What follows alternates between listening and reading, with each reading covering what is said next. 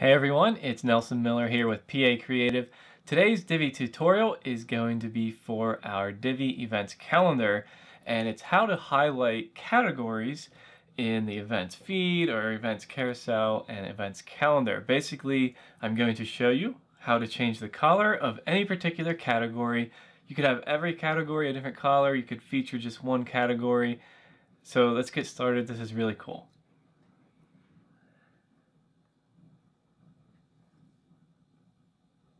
All right, so this is a pretty popular request lately, adding colors to the categories and highlighting them in that way. So what I'm going to do is go over this as each module. Well, it's pretty simple. Um, the carousel and the events feed are very similar, different class, and then the events calendar is a little different, um, different CSS, but I have it all in this tutorial. So if you're on YouTube, you'll definitely need to open up the blog post, come over here and check out the CSS for this. So we're using the Divi events calendar with Divi and the events calendar, and we're making certain categories, whichever ones we want, to be a certain color. Um, and, and that's changing the background, the text, the buttons, anything like that. So I'm showing you how to do any of that. All right, let's see how this works. So this is kind of probably going to be a little bit of a longer one because there's a lot involved, especially if you have a lot of categories. But if you're just doing one category, it's actually pretty quick. So basically, we need to go over some of the ground rules first. So we're going to have CSS. So, you know, put that in your child theme. If you have a child theme, if you do not, you can put it in Divi theme options. Here we have information about that. And then about custom classes, as we go down through, I'll be giving you the actual CSS classes, like you'll be able to paste in the code and it'll work in the events feed module, for example. But let's say you have, um, you only want it to happen in in a particular page, you know, only in the module on this page or whatever. Well, then you're going to need to use a custom class, and when anytime that you need that, you'll just need to um, replace what we say here. You'll need to replace like right here, DECM underscore event underscore display, you would replace that in the code with, you know, my custom class, whatever. Um, otherwise, you know, you can just go ahead and paste it in and anytime you have that category on your website, it will affect that. So if you only have like one page with events, like an events feed module, for example, well, then you're fine. Don't worry about custom classes. Just skip that part. All right. So down in the code, we're giving you basically a snippet and we already have a category um, highlighted. I kind of had to. Here's an example. Right here is the selector. You will notice that in the middle here, so first of all, let me just start here. We're targeting the events feed module in this particular one. And then we're targeting the posts and we're attaching that to our category, outdoor events, and then underscore ECS category. So the part that you need to change every single time, unless you happen to have outdoor events as a category, is outdoor events. So every time. Um, if your category is music, you would say music instead of outdoor events. All right, very simple. You know, virtual events, online training, whatever your category is, you replace outdoor events. Now later on, it'll be a little different. Um, I think I was using, uh, but this is down in the calendar one. It's a little different. Same thing, but we'll get to that. All right, so basically, all we need to do is copy the code in and find the category slug. So it's really those, it's really as simple as that. It's going to look more complicated and seem more complicated, but it's really just a matter of pasting in the CSS, pasting it in for every single category and then replacing every category. Now, if you only want to do one category, it's really easy. I am going to be working right here on our demo, divieventscalendar.com slash demo one. This is where we're going to be working. I'm going to paste the code and you're going to see it. So let's get started. Actually, I guess I should show you where to find the, go to your website and you'll go to the back end um, I'm just going to show you where to find the category slug. So go to events and then event categories. All right, so let's see. I was using outdoor events. Right here, you can see it. Outdoor events has this slug right here. Remember I was showing you that? Like I said, if it was music, it would just be music. Lectures, community events, real estate, whatever yours is, the slug is right here.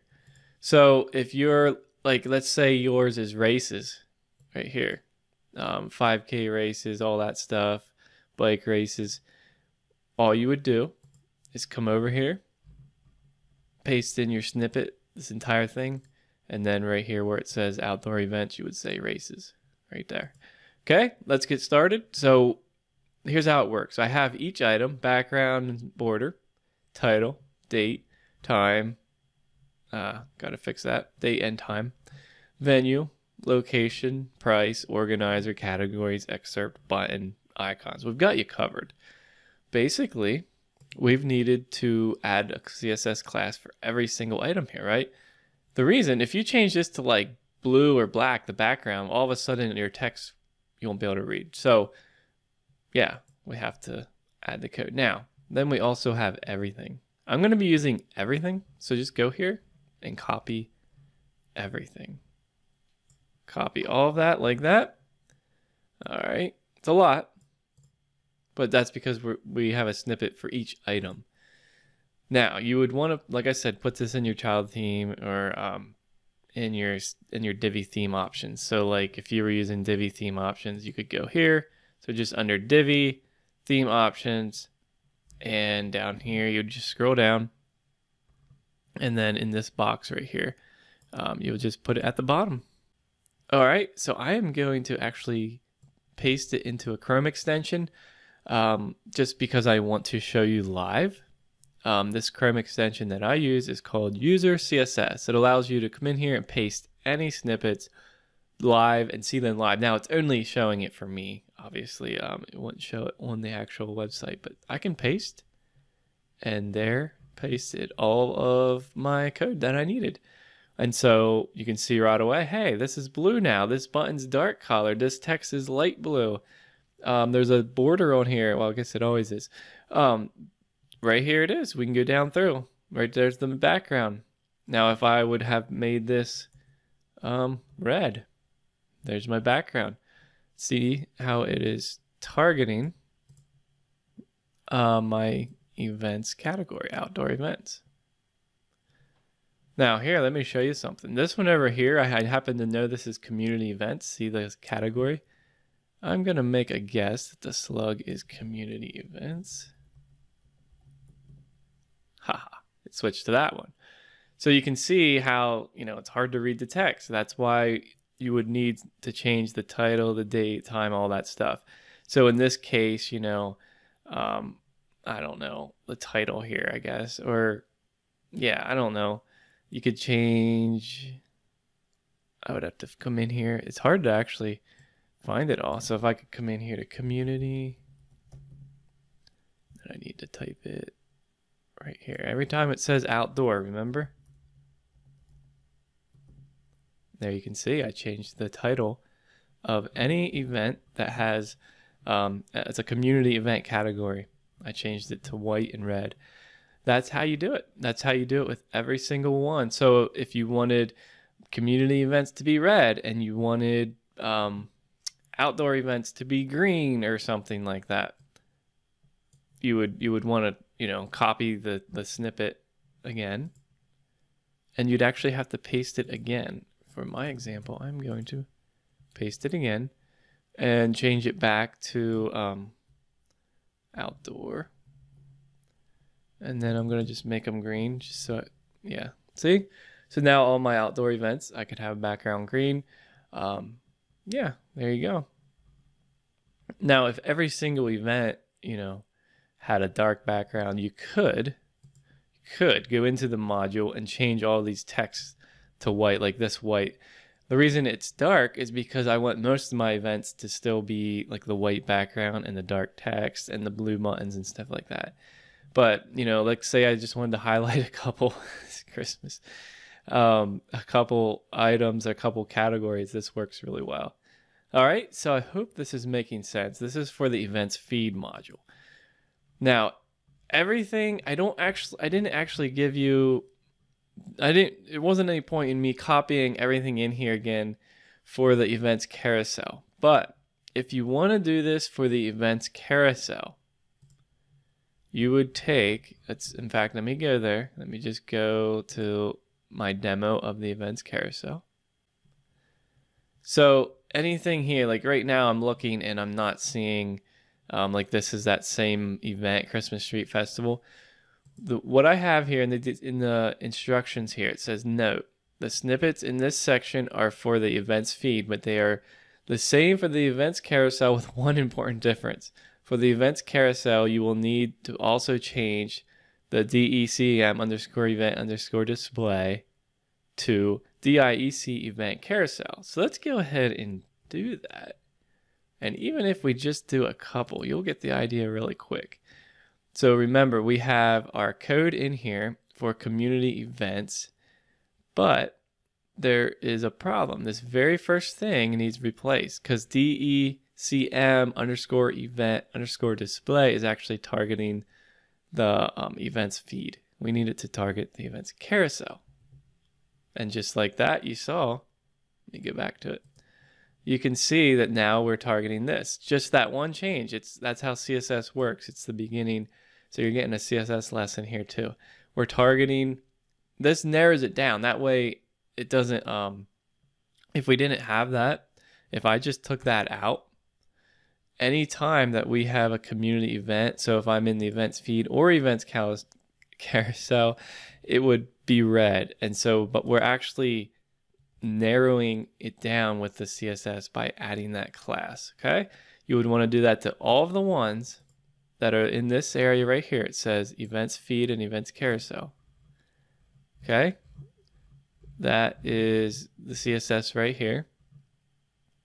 All of it there, you would want to go down and replace the DECM underscore event display with the one that I have listed here. It's a little bit different. DIEC event carousel. Okay. All right, let's move on to the event calendar. That's right here. We are going to highlight an event like that right on the calendar. So let's get out of here. I'm going to just remove my user CSS. I can click and it closes. And then I'm going over here to the events calendar module demo. Okay, currently um, I'm in November recording this. I want this online virtual meeting to be, I don't know, red or whatever. So go back to, oh, well, first of all, you would want to go to your events, event categories. Remember, if you didn't know what the slug was already, so for me, virtual events are just virtual dash events. But if you didn't know that, you could come back in here and check that. Now, you can also check in the CSS if you know how to use the Chrome inspect tools like this. So you can click inspect and then you can go and you can click on the event and you can actually see in here it says virtual events. Now that's for advanced users and advanced users already know how to do that so it doesn't matter anyway. Um, in my CSS uh, Divi CSS course that's coming out you'll you'll learn how to do that. But anyway, right now we just want to go over here and grab the snippets. And again, we're going to be replacing um, just one part of this. So I'm going to grab where it says everything it's not as much for this one.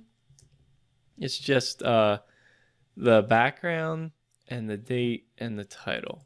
Okay, because see the background and the border, the date and the title. So I'm going to paste this in. And right there, you could see that it changed. All right, and so I knew that this was a virtual event. I knew it was the virtual event category is what I mean. And so I already had this in here. So right now we are targeting DECM underscore Divi underscore event underscore calendar. And then we're targeting virtual events. That's the category. Underscore DEC underscore category.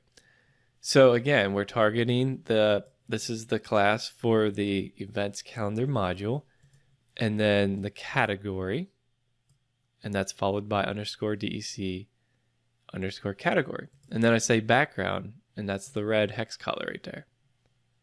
Um, let me just show you if I wanted this green, for example. See it turn green. So if I wanted to highlight, you know, whatever, any category, a different color. And then like let's say I let's do let's do this. Let's say I wanted um I wanted this to be like gray. Well no, let's let's go with light gray. I think that's one. And then let's say I wanted now now it's hard for me to read my text, so I want that to be black. I can add zeros. And then the same thing here. This the first one there, you can see that it's targeting the time. And this one's targeting the title. So I could change this to zeros. And so just like that, I could say my virtual events have a gray background and black text. So this one's pretty easy, just the three different classes. And I have everything labeled, by the way. Here it says event background in the comment, event start time, and event title. So I really tried to make it easy for you.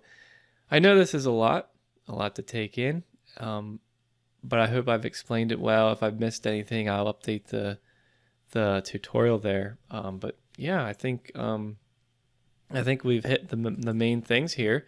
So you can use this to highlight. I think right now the trending thing is to highlight um, virtual events. Maybe I'll make a separate tutorial on that.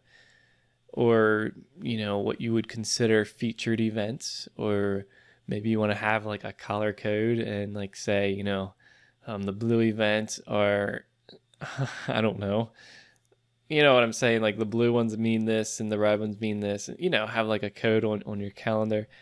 So, yeah, this will help you do that. And, you know, I didn't say it at the beginning, but we didn't know how that we would even begin to add this as a feature in the plugin. It's kind of one of those bonus things.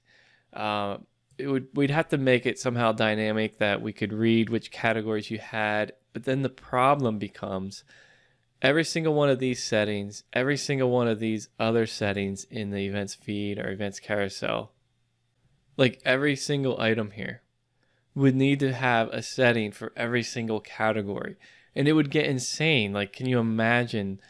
Like, it would almost be like duplicating how many settings we have and like having those same settings for each category. It would be insane.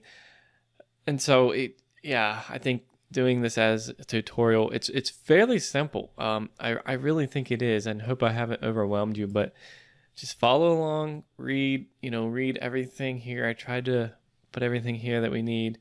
Um, like I said, you know, if you're if you have multiple categories, you'll want to duplicate your CSS. You can pick and choose which items you want. Um, maybe you just want the background and title, and that's going to depend what you're showing here. You know, if you just have a couple items, you don't need the extra CSS. Like if you're not showing the button or you're not showing the category here, you're just showing maybe the title and the location or time. Well, then just just pick and choose. Like just you know, copy the background, um, the one for title, you know, one for date, right? You won't, you wouldn't need like the price and organizer and, and all that. That's that's kind of how that works. So, um, so then once you copy it in once, change your categories, you can then copy your code again um, for each category. All right, well, let me know what you guys think of this because this was a requested tutorial. So let me know in the comments on YouTube and on the blog what you guys think. And honestly, I would love to see like your examples. Paste your links. Um, that would be great. I want to see what you guys do with this.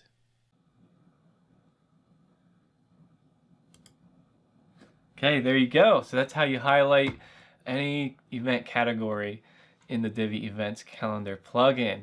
We have other tutorials coming for our plugin here. Um, let me know what you would like to see that's specific to this or other ones specific to Divi. Of course, we have a lot of just regular Divi tutorials coming as well. All right, we'll see you guys in the next video.